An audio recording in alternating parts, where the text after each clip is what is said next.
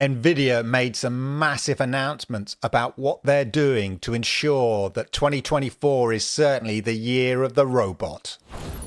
As we know, Nvidia are all in on the world of AI, developing the software and the hardware, the chips necessary to power those AI algorithms. They had a massive announcement about what they're doing in the world of AI and robots specifically humanoid robots. NVIDIA introduced their Project Groot, a general purpose foundation model for humanoid robot learning. Project Groot basically stands for Generalist Robot Zero Zero Technology. Seems like they may have just used those terms to come up with the word Groot because there seems to be a bit of a Marvel theme going on through this, and we'll come to that later.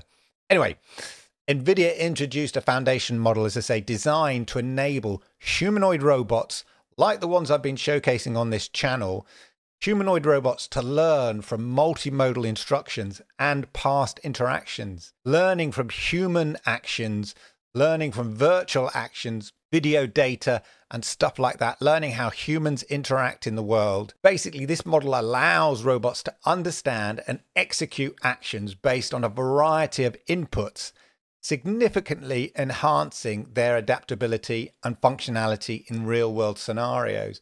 Basically, you need your robot to understand what you're asking it in natural language, hence the need for a large language model, an LLM, and then it needs to be able to know how to execute the necessary action to respond to your request or your demand or your command, etc.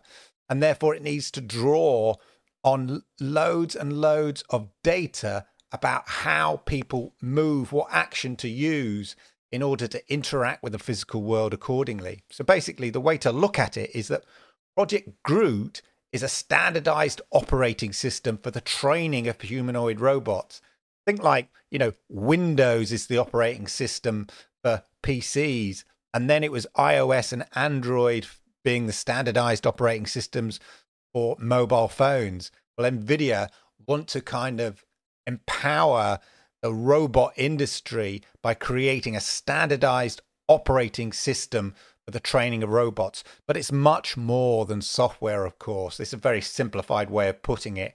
It's a foundation model. NVIDIA want to be that de facto operating system for humanoid robot training. As I said, that's a real simplification.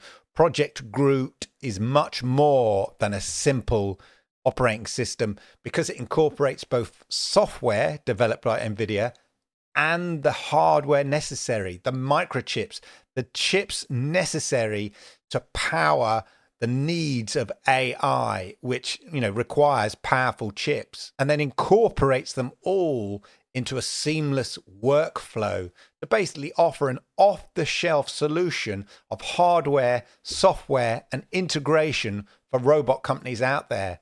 I mean, nine of the biggest robot companies were represented on the stage as part of this presentation. You had 1X Technologies, Agility Robots, Apptronik, Boston Dynamics, Figure AI, Fourier Intelligence, Sanctuary AI, which I've featured on this channel before, Unitree Robotics, and Xpeng Robotics, and even the Disney robots from their Disney theme parks. I mean, it was quite an impressive display. I guess conspicuous by its absence was the Tesla robot, Optimus Prime. So that's interesting because obviously Tesla seems to be going down their own route. But how does it all work? You know, how's it going to empower the robots? So basically, it breaks down into kind of different areas. You've got your multimodal instruction processing. Okay. So this is by hearing, you know, somebody give it natural language instructions, by observing, um, in the same way that we see large language models work now, you know, you can feed in an image and it can interpret that image. You can, you know, talk to large language models using natural language and all of that. So the robot training begins with the Groot model, which takes in multimodal instructions along with past interactions it's had as input. And this allows the robot to understand and process various types of commands and data. And then it needs it's sort of to go into action, yeah? So this is the action production. Based on that input it's received, the Groot model, this foundation model, then determines the next action that that robot should execute.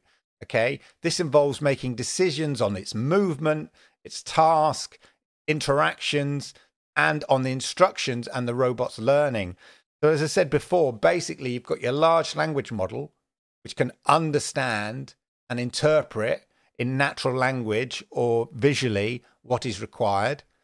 And then you need a kind of effectively a large action model in order to choose the right action. What is the next action? What is the predictive next action based on your AI algorithms that you need to take in order to execute the action that you've been given? And that's where the training comes in.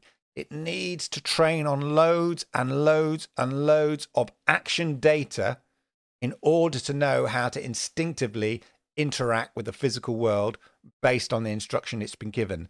In the same way that large language models are trained on tons and tons and tons of data, a large action model, the way the robot moves or how it decides it's going to move, it needs to be trained on loads and loads of data.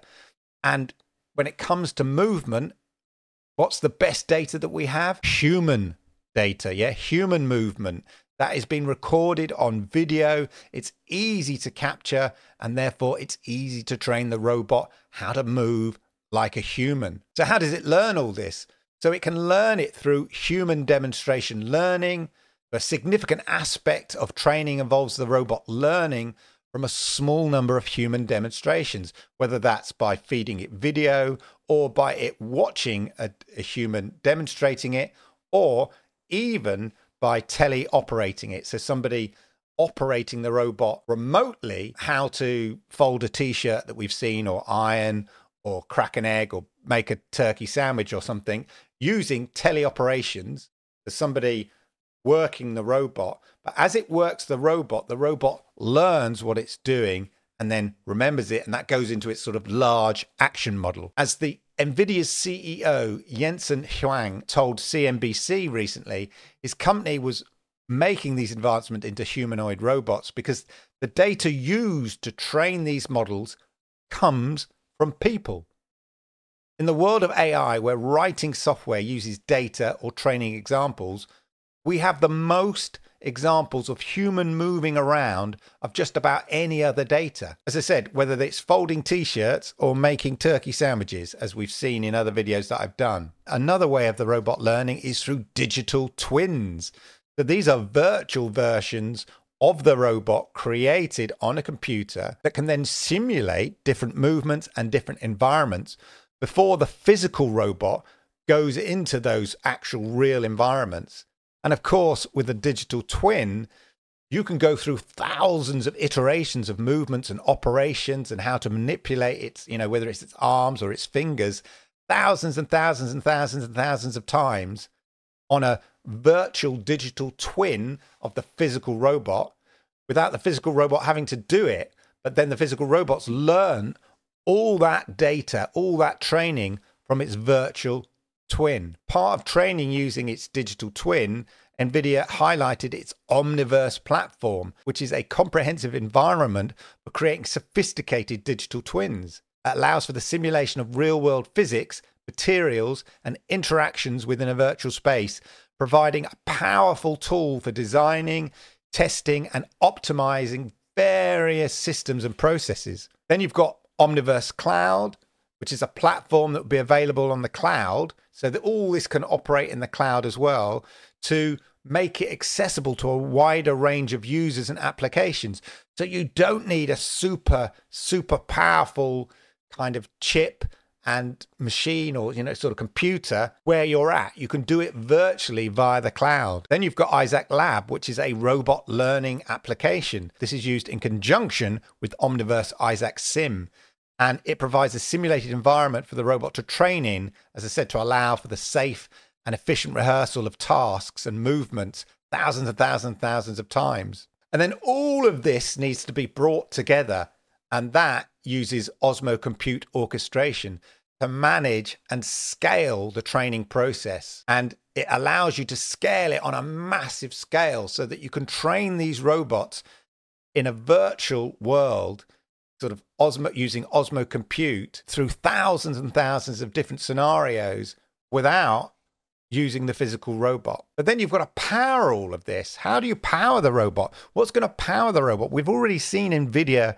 introduce super powerful chips for companies who are working in the world of AI and large language models in order to kind of help power those models because you need powerful chips to do that.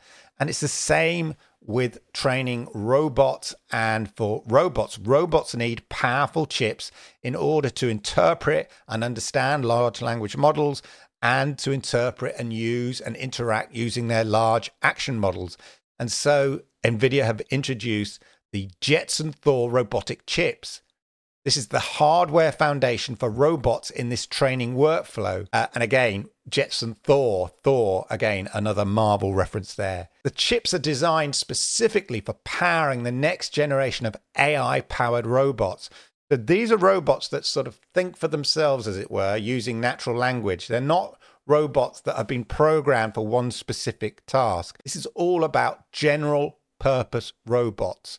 And so you basically have your humanoid robot, and you could say, hey, make me a cup of coffee. Hey, go into that dangerous environment and, you know, access that uranium. Or, hey, fold that t shirt. Whatever it is, a general purpose humanoid robot that has learned from human actions, whether via digital virtual twin or by simulating video data from a human or being taught how to do things having been operated, teleoperated by a human being. All of this combines in one giant workflow that is Project Groot. And it basically, what NVIDIA have done here is presented a comprehensive approach to robot training, combining advanced models, simulation environments, and specialized hardware to teach robots to perform tasks and emulate human movement effectively. And they're making this software and hardware, this whole foundation platform, Project Groot, available to, to all the companies developing humanoid type robots out there. And as far as I'm concerned, this is only going to accelerate the growth of humanoid robots in 2024. So, over the next few years, I think it's going to be very exciting in the world of humanoid robots. Let me know what you think about all of this and whether you saw the presentation. What did you think of it? Did you see the little Disney robots at the end and all of that? What do you think it means about robotics for 2024? Put it in the comments down below. And of course, don't forget to hit the likes because I like it, YouTube likes it, and it helps people like you find content like this. And if you're new to my uh, channel, then please hit that subscribe button, toggle that notification bell, and that way you'll know when I go live with videos just like this. Talking of videos just like this, why don't you check out the videos over here? These ones here. I think you'll like them. Yeah, you, you particularly. You'll love them. They're brilliant. Thanks for watching.